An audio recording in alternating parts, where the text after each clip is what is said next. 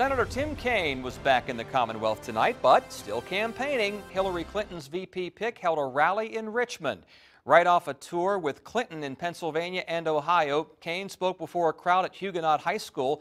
It was Kaine's first public event in his hometown since he announced he'd run as the Democratic vice presidential nominee.